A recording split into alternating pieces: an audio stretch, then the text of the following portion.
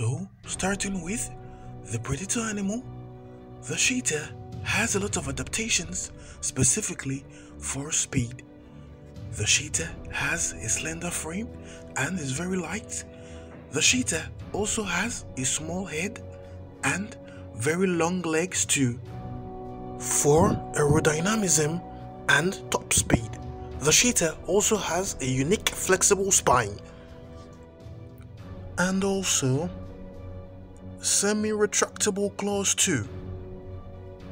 All these adaptations for speed actually make the cheetah less efficient in fighting than other animals, since speedsters like the cheetah are generally lighter, smaller, and weaker when it comes to one-on-one -on -one combat.